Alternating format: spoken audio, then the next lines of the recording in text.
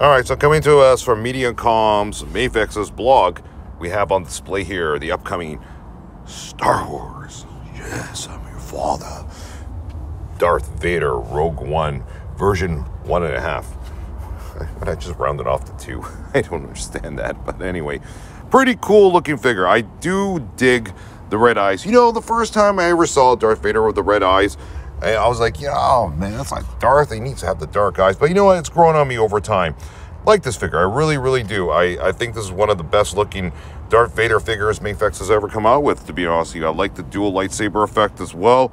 Uh, nice scale, six inches. I mean, it's great. I mean, there's a lot of Darth Vader figures out there. We know I have quite a few of them. But yeah, I do like this Darth Vader. It's got a presence to it. It's well proportioned. Mafex, you did it right. I like it. So anyway, if you pre-ordered this one, guys, should be coming out pretty soon. There you guys go. So head on over to Medicom Mafex's blog right now if you want to read more about it. Uh, link in the description of the video. If you're English speaking like me, make sure to set your settings to English. You read all about it. All right, take care, everyone.